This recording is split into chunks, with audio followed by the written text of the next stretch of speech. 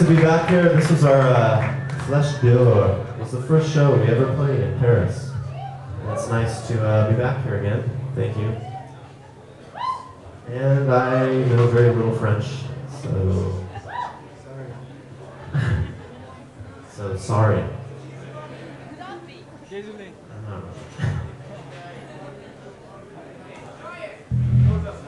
Uh, oui, yes, I can at least try it.